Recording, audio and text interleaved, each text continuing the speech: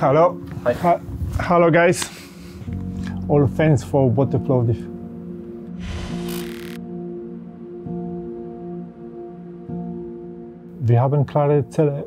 Всеки от нас има ясно поставени цели и работим върху това да ги постигнем. Всички решения ще се взимат след като видим дали тези цели са постигнати или не. Когато дойдох в клуба през август миналата година, видях доста проблеми. Бил съм треньор, скаут и спортен директор, така че беше лесно да ги идентифицирам от различни ъгли. Душан беше избран от мен, за да помогне да оправим тези проблеми и да ни изведе обратно към победите. Когато той дойде, отбора беше на лоша позиция в класирането, но поставихме и ясна цел за всички в клуба, и треньорския щаб, и играчите. Да се борим за Европа през купата, през челните места или през седмото място и бараж. Втората поставена цел беше да се развиват млади играчи в състава. Има много потенциал в този тим и беше важно той да бъде развит така, че тези футболисти да попаднат в стартовия състав. За нас е важно да играем в Европа, защото това носи престиж, репутация, а и с европейското участие става по-лесно да привличаш по-качествени играчи. Без значение дали работиш или играеш за този клуб, всеки трябва да разбере тези цели и да ги следва. Целта ни е да създадем отбор, който година след година да се бори за най-високо възможно класиране. И това започва с личното отношение на всеки един в клуба. След зимата имахме спад в представенето, но сега се справяме по-добре. Искам да спомена, че аз, Душан и Антон сме в непрестанна комуникация помежду си. Говорим си открито. Разбирам, че феновете са нетърпеливи да научат какво става с договора на Душан. Новини по темата ще има през май. Сега е важно да се фокусираме върху целите си. Bringen das äh, Bote-Spiel international. Das ist mein Goal.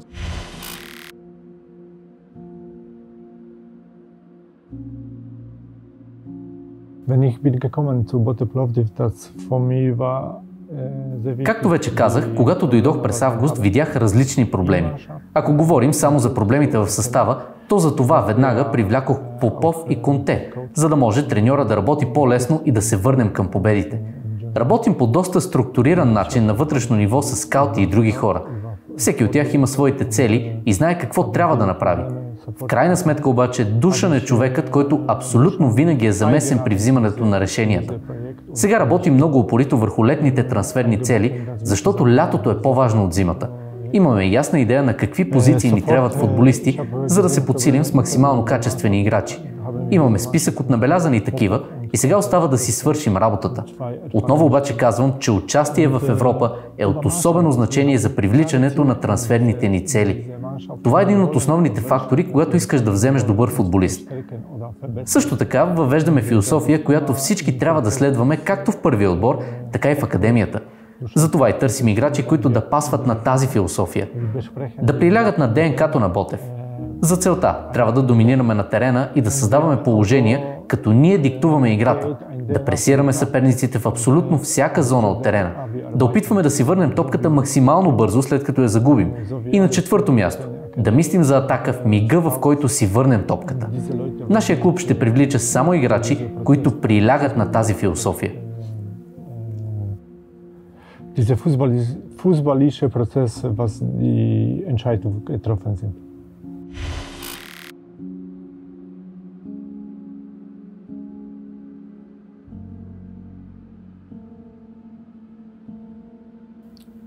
Wenn ich war in Borussia Dortmund, ich war 8-9 Jahre involviert. Докато бях в Борусия Дортмунд, в продължение на много години бях замесен с латиноамериканския пазар. Особено в Бразилия и Аржентина, където пътувах в продължение на 8 години, така че познавам добре този пазар. Ние обаче не сме фокусирани само върху няколко държави, а работим в световен мащаб. Разбира се, има и южноамериканци в списъка ни. Съвсем наскоро, например, се върнах от пътуване, в което говорихме с двама латиноамериканци. Дали ще ги вземем? Може би. Приоритета е да гледаме към качествата им, стила им на игра, менталитета им, физическото им състояние и много други фактори, а не просто да ги изберем заради държавата на паспорта им. Например, ако един играч е талантлив, но не приляга на нашия стил с висока преса и много енергия, тогава той няма никакъв шанс да бъде привлечен при нас. Не можем да си позволим да правим грешки на пазара, каквито са били правени тук в предходните сезони.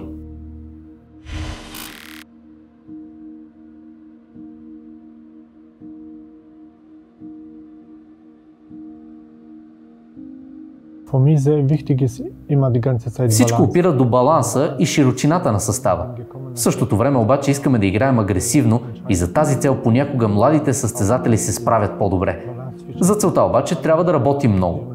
Искаме да запазим баланса между млади и талантливи играчи, на които обаче им е нужно време за адаптация и опитни футболисти, които ти дават резултата веднага.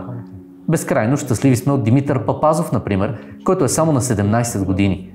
Уме пък вкара срещу ЦСК в полуфинала, за да ни донесе първа победа в София на този съперник от много години насам. В същото време обаче знаем ролята и разчитаме на опитни играчи, които са ядрото на тима. В крайна сметка всички са щастливи, ако резултатите на терена са добри. Без значение дали са постигнати от млади футболисти като Акера и Чернев или от по-опитни като Попов, Кунте и Карабелов. für mich immer wichtig und das bleibt.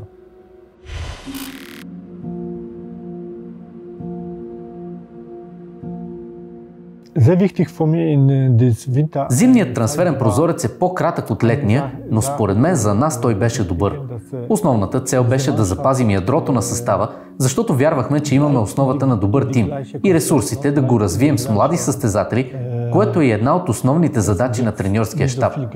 Продадохме Баруан, защото му оставаха само 6 месеца по договор и самия той не искаше да остане. Нади пък не беше първи избор на треньора за позицията си.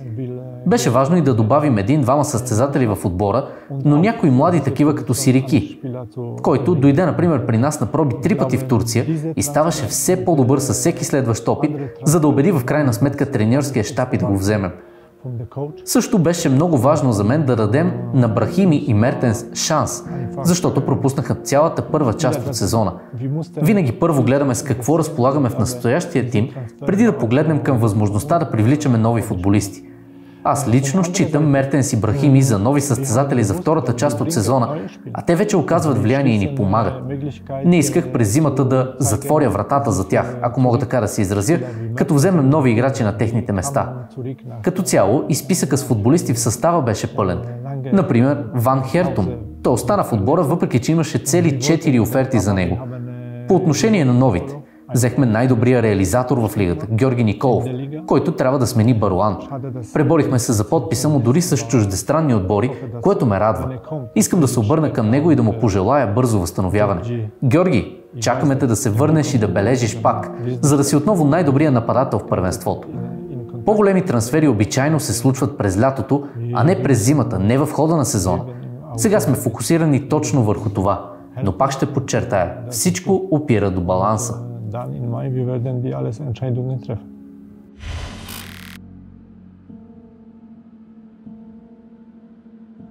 Ich glaube, dass bald, das ist Grundziel vom, der, vom der Besitzer.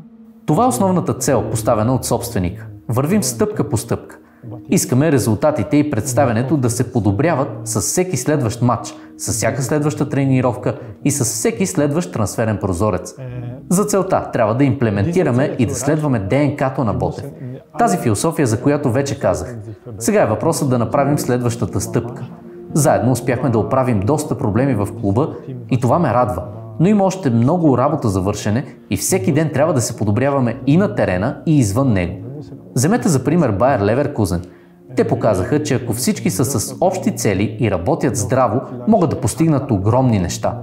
Нашия клуб има богата история и голям потенциал, но за да постигнем нещо голямо бързо, то трябва да стане с нашия стил, с много работа и то нон-стоп. От всички трябва да работим в една посока.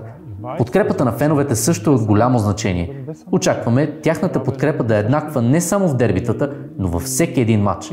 Нуждаем се от тях на стадиона. Leute kommen zum Stadion, die werden zufrieden, die geben Energie für, für die Mannschaft und die Mannschaft dann spielt äh, besser.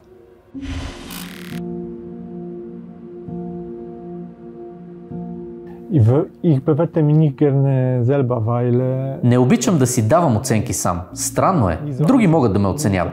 Сега мога, например, да си поставя оценка 4, но след час вече да е 5 или 6. Никога не се знае, винаги зависи от коя гледна точка разглеждаш нещата. Аз самия знам колко много работя, какво съм направил и какви планове имам. Позицията на спортния директор не означава да е замесен само с купуването на играчи. Може да се каже, че 50% от задълженията са свързани с трансфери, а останалите 50% са работа, която се върши зад колисите и това е работа с треньорите и първия отбор, проучване на състезатели, правила, академия, дисциплина, вътрешни процеси и протоколи, срещи, справяне с стари проблеми от миналия сезон, което отнема безкрайно много време и така нататък. В първите 50% можехме да се справим и по-добре и това ще е целта ни през летния трансферен прозорец, защото това ще е първото пълно трансферно лято за мен в клуба. По отношение на другите 50%, които споменах, мисля, че подобрихме клуба много и съм доволен. Когато дойдох от първия ден, исках да покажа и мотивирам всички в нашия клуб да работят упорито, защото за мен само това е пътя към успеха. Понякога се ядосвам, когато видя някого около себе си, който не иска да се бори за повече, да опитва и да натиска към успеха. Искам да спомена и работата, която свърших по отношение на академията. На първо място изградихме силна връзка между първия отбор и академията. Треньорския щаб на мъжкия отбор следи постоянно тренировките и мачовете на по-малките. Немалка част от младите футболисти набор 2007-2008 дори получиха шанс да тренират с първия отбор през този сезон, защото треньора вижда потенциала им и мястото им в първия тим след време. Също така, след обстоен анализ, стигнахме до извода, че трябва да наблегнем на физическото развитие на младите, защото това е ключът за тях да са готови за първия отбор. Всички състезатели над 15 години се следят ежедневно с GPS системи. Физическите тестове и измервания са нещо регулярно при нас вече. Като резултат от това, когато играчи от академията тренират в първия тим, те вече са физически готови и се справят добре. От гледна точка на представянето, всички елитни отбори се задържат в топ 4-5 на своите елитни групи. Фокусирахме се и върху индивидуалните развития. Емил Найденов от набор 2007 е и нападател в националния отбор на България в своята възраст. Той е най-резултатният играч в Б отбора ни и не играе с връзниците си цял сезон. За някои футболисти като него искаме да са сред по-големите и да израстват още повече. Обмисляме и варианта втория ни отбор да бъде регистриран за втора лига, а третия ни тим за трета лига. Проучваме възможностите и избираме най-доброто възможно за футболистите от академията. Футболът е работа 24-7. Аз самия трябва да работя нон-стоп, за да предотвратя грешки, които са правени в клуба преди мен. Очаквам същото от хората около себе си. Само упоритата работа ще върне Ботев Пловдив към най-големите успехи. А мисля, че това е точно нещото, което и феновете искат възможно най-скоро. Das Botev in der Zukunft wird besser und kämpft über Titel.